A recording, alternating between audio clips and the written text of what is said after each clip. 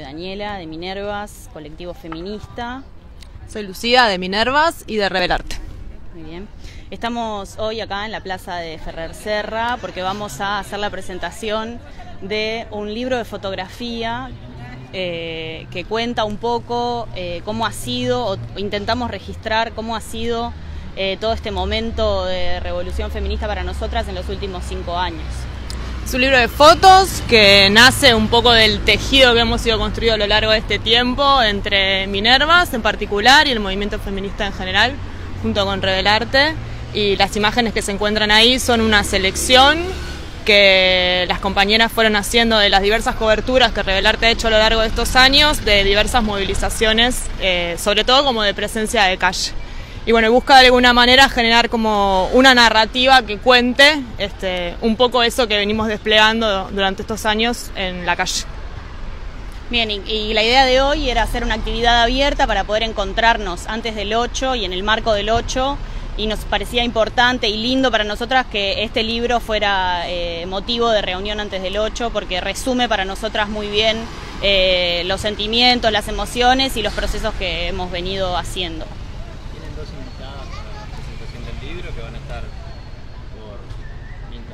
Tenemos invitadas del mundo pandémico que son invitadas por Zoom, eh, muy importantes y, muy emocionadas también porque nos estén acompañando, que son Silvia Rivera Cusicanqui y Susana Draper. Eh, la idea es hacer como un intercambio con ellas y que puedan participar en parte de la actividad y contarnos, eh, bueno, no solo qué les parece el libro, sino qué les mueve a ellas, ¿no? Este tipo de publicaciones. Y la idea después es como bueno hacer una presentación un poco más desde Minervas, del sentido que le quisimos dar ese libro y un poco desde las fotografías de qué es lo que Revelarte ha hecho en este tiempo con eso y tejernos un poco desde ahí. el libro registra fotos de varios años desde 5 años. 2015 a 2020 de diversas movilizaciones, sobre todo hay imágenes del 8 de marzo, el 3 de junio, el 25 de noviembre, de diversas alertas feministas, que es lo que se estuvo como sosteniendo en la calle como con más frecuencia en, este, en estos años. Y bueno, si bien tiene como una narrativa que de alguna manera es cronológica, porque avanza desde el 2015 al 2020, bueno, va también como dialogando con algunos textos que desde Minervas sobre todo hemos producido en este tiempo y algunos otros que provienen del movimiento en general, canciones y demás y como que van dialogando un poco ahí en, a lo largo del libro. ¿Y están armando otras publicaciones? ¿Van a otras? Estamos armando otras publicaciones, de hecho ya están hechas, eh, pero mm, estamos pensando para presentarlas post 8, digamos. Eh, hay un libro eh, también de Minervas que cuenta habla mucho también de esta revolución que nosotros estamos haciendo y desde dónde estamos pensando las cosas. Intenta recapitular cosas que hemos trabajado en otras publicaciones y dándole como otro, otro girito. No te puedo adelantar mucho de eso. Hay uno más al menos. Hay uno más, hay uno más. Hay seguro hay uno más que vamos a presentar después del 8.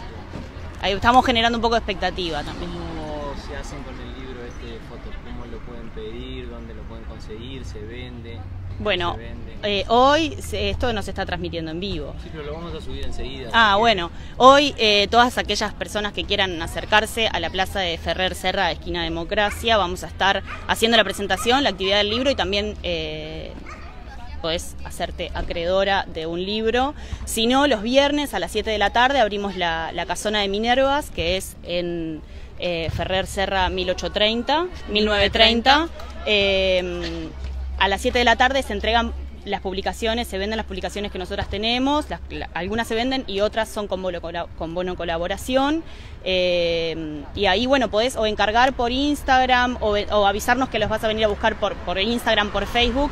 Eh, o bueno, pasar por la casita y, fijarte qué publicaciones tenemos. Y lo mismo con este libro de fotos. Bien. Ustedes están participando en la coordinación de la marcha del 8.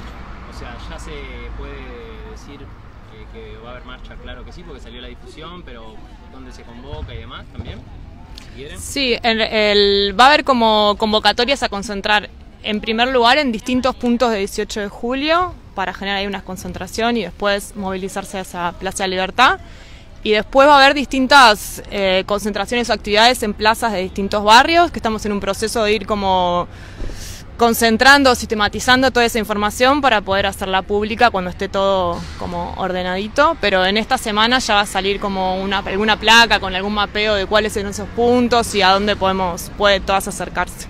Lo que sí sabemos es que el movimiento feminista se va a movilizar, no solo en Montevideo, sino en el resto del país también, que las compañeras ya están eh, pensando cómo, las diferentes maneras pero sí nos vamos a movilizar cuidándonos y teniendo en cuenta la situación, pero, pero sí va a haber movilización y sí sabemos que nos vamos a encontrar en 18 a las 6 de la tarde el, el 8 de marzo. ¿Algo que le quieran decir a las compañeras para el rumbo al 8? Para, para a la marcha, para... Que yo pienso que, bueno, que nosotras cuidamos desde siempre, que sabemos cuidarnos, que lo hemos hecho, que somos las que cuidamos cuando en estas situaciones sanitarias en particular, pero desde siempre.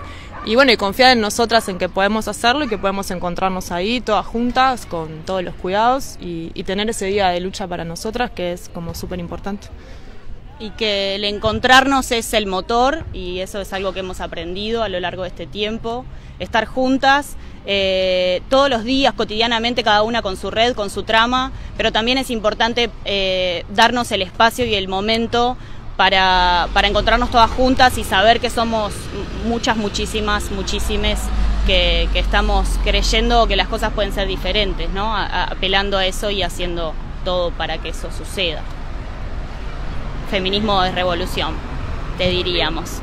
Gracias.